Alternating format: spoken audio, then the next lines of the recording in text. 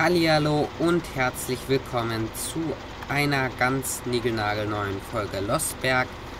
Hier im Landwirtschaftssimulator 17 und ihr seht schon, wir haben alles angeworfen. Hier, wir sind gerade am Kartoffelernten und machen auch direkt weiter. Weil wir in der letzten Folge angefangen haben. Wenn ihr das noch nicht gesehen habt, könnt ihr es euch natürlich gerne noch anschauen.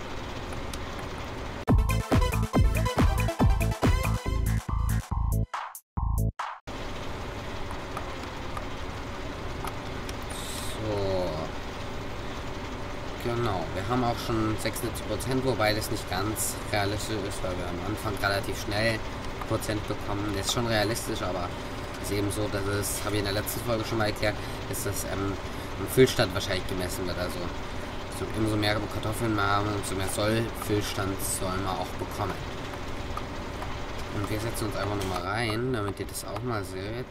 Genau, übrigens, ich äh, steuere jetzt wieder mit der Tastatur nicht mehr mit dem Lenkrad, da was so gewohnt schön ruhig war, weil das Lenkrad kaputt ist. Das habe ich jetzt zurückgeschickt an den Händler und jetzt schauen wir mal, wann ich mir ein neues kaufe, weil ich muss mich da auf jeden Fall nochmal informieren. Ihr kennt es vielleicht aus der letzten Folge, Thüringer Oberland müsste es gewesen sein. Da habe ich ein bisschen mit der Einstellung gespielt, habe dann gemerkt, dass das ähm, Gas- und das äh, Bremspedal, also beide Pedale, einen Wackelkontakt haben. Ja, finde ich jetzt auch nicht ganz so optimal, da ich das ganze System erst seit Weihnachten habe und es eigentlich immer ganz gut fand durch die ruhigen Lenkbewegungen und es hat auch am Anfang alles super geklappt, aber dann schon im Januar wurde es dann schon schwammig. Insgesamt alles hatte irgendwie leichten Verschleiß und jetzt habe ich gerade das Rücksende-Etikett vor mir liegen. Zwei Monate später. Nicht mal zwei Monate. Insgesamt habe ich jetzt, glaube ich, noch nicht mal drei Monate. Da sollte man noch dran arbeiten. Ihr kennt das äh, Lenkrad ja aus den äh, aus der Equipment-Folge oder falls ihr nicht gesehen habt, die ich natürlich gerne noch anschauen. Ich glaube, die müsste unten verlinkt sein in der Box. Genau. Und dann seht ihr, welches das war. Also ich empfehle es jetzt natürlich nicht mehr weiter, da es nicht mehr funktioniert. Ich werde mir auf jeden Fall ein anderes kaufen, nicht wieder dasselbe, so stur bin ich nicht. Sondern da werde ich mich umschauen. Aber ich habe auch gehört, dass das Cytec-Lenkrad, also das Logitech-Lenkrad, das läuft jetzt unter Logitech Cytec, also das LS-Lenkrad, das es für ein LS gibt. Ich glaube, für ein LS 17 ist noch gar keins draußen, aber LS 15 und ähm, das soll anscheinend auch nicht so gut sein, weil das Ganze auch immer wieder kaputt geht. Viele behalten dann nur das Seitenpanel, also wo die ganzen Knöpfe drauf sind, aber nicht das andere, weil das anscheinend auch nicht so robust ist. Und wir sind jetzt hier im zweiten Teil von drei Teilen wahrscheinlich von der Erntemission des Kartoffelbeetes und ja, Schauen jetzt mal, wie viel wir heute schaffen. Fertig werden wir wahrscheinlich nicht, da es ja doch sehr, sehr weite Runden sind und wir, glaube ich, für eine Runde mindestens drei Minuten brauchen und dann halt immer nur zwei Meter oder drei Meter haben.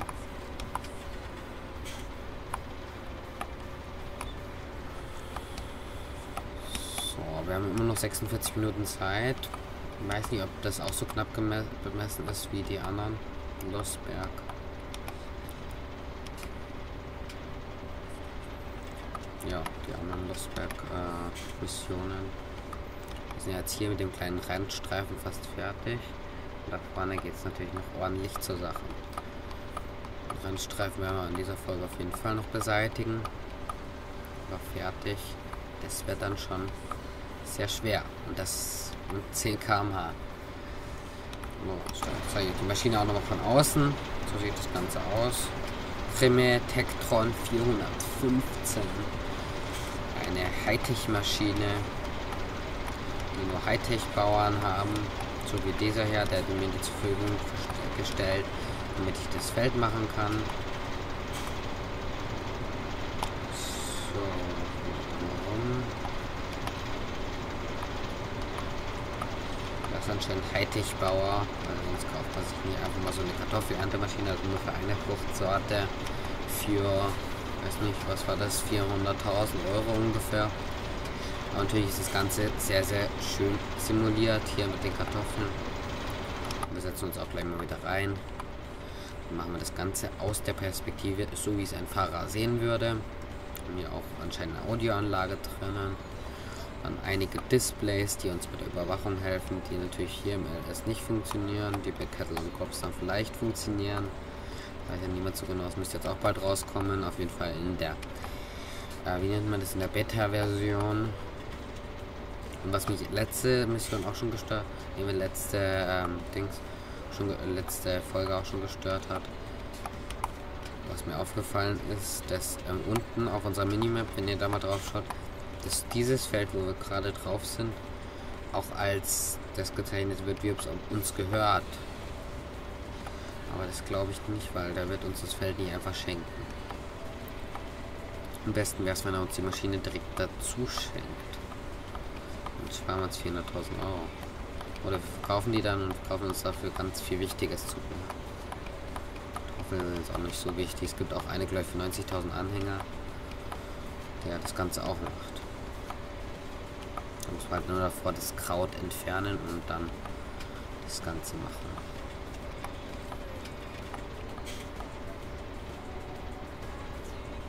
So.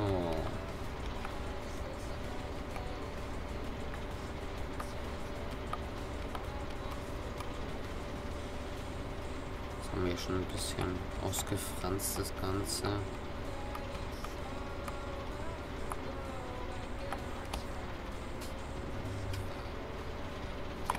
Gut ist, dass man mit der auf der Stelle wenden kann. Ich glaube, wir schaffen das eh nicht ganz. Können wir das hier schaffen? Ja, doch. Die Reihe lassen wir zwar stehen, aber wir schaffen das hier. Hoffentlich. Da noch ein paar kleine Überreste. Die Hälfte haben wir jetzt auch schon geschafft, bisschen über die Hälfte. Und ich denke mal, mehr als eine dritte Folge wird es nicht beanspruchen. Auch wenn mir da irgendwas mit 61 Minuten insgesamt angezeigt wird. Und 61 Minuten, ja, ist ja sag jetzt mal, es sind 15, 30, 45, 60, ja, sind vier Folgen, an vier Folgen.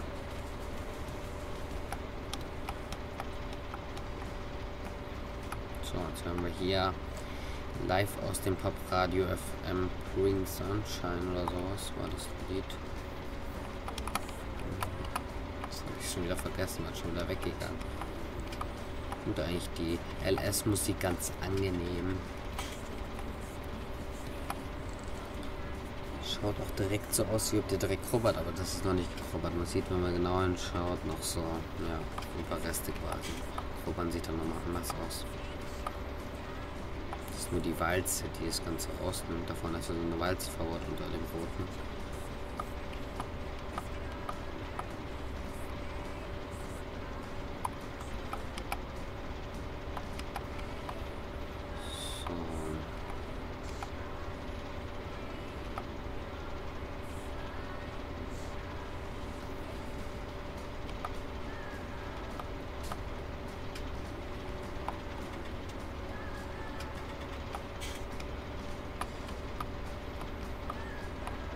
jetzt auch gerade Führerschein, ja. Habe jetzt ja schon zwei Fahrstunden gehabt insgesamt.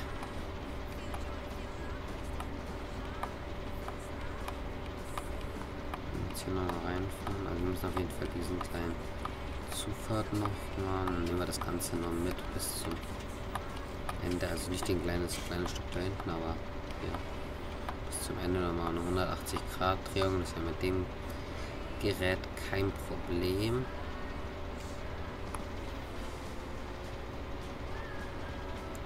Drehen wir einfach mal auf der Stelle 180 Grad. Aufgrund der Grillräder, die hinten verbaut sind, sind einfach so völlig drehbare Lenkräder und vorne sind einfach nur so Walzen verbaut. Das ist natürlich schon von Vorteil. Ich habe mir jetzt auch ein Screenscreen gekauft, der hinter mir aufgebaut ist und auch eine Lampe, aber das funktioniert noch nicht so ganz. Ich muss den Greenscreen erst noch bügeln, damit das Ganze problemlos funktioniert. Die Webcam kennt ihr ja schon von dem live gestreamten Stream, so wie InScope sagen würde, den ich vor einer, zwei Wochen gemacht habe, ungefähr. Könnt ihr euch natürlich auch noch anschauen.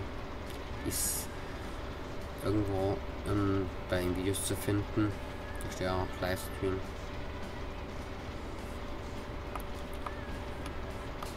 Genau. Vielleicht fangen wir bald noch ein neues Projekt an. Und zwar, dass wir ein Forstprojekt starten. Das kann ich aber noch nicht versprechen. Und da wollte ich dann versuchen, das Ganze, also nicht einfach nur normal Forstprojekt, sondern diese Idee hat mir das Video von Nordrhein TV Play Schöne Grüße auch an euch, falls ihr euch das anschaut, gegeben.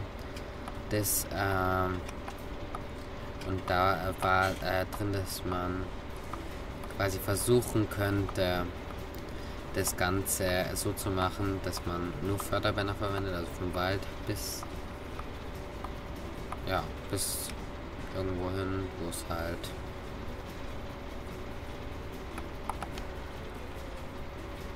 dann abgeladen wird. Das wäre in diesem Fall ja da, wo man den Häcksel, das Häckselgut abladen. Ja. Da muss man quasi noch die Bäume fällen in den Häcksler rein und das Ganze bekommt man dann ein paar Minuten später auf sein Konto gebucht.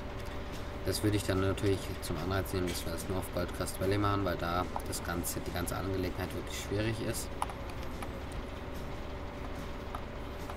Da gibt es Steigungen und ja, und es wäre dann auch mal eins auf der Originalmap, die schon von vornherein dabei ist. Genau. Dreiviertel haben wir jetzt geschafft. Zwölf Minuten. Ja, eine also ein Teil einer Folge brauchen wir auf jeden Fall noch.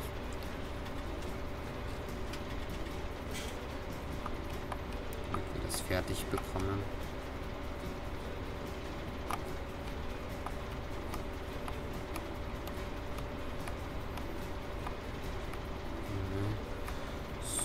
sonst müssten wir jetzt Formel 1 fahren.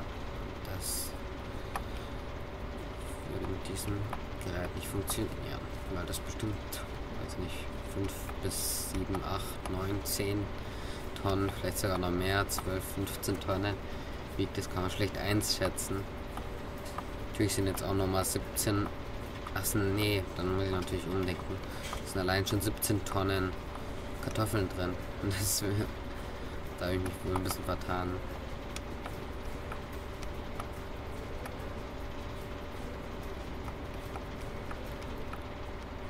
So.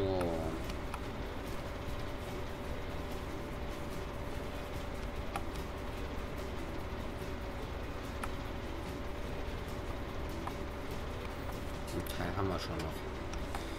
Würde ich aber sagen, dass wir jetzt gleich am Ende dieser Folge angekommen sind.